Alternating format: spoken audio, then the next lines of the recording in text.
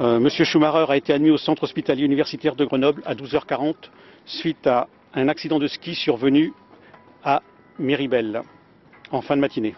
Il souffrait d'un traumatisme crânien grave avec coma à son arrivée qui a nécessité une intervention neurochirurgicale. Il reste dans une situation critique.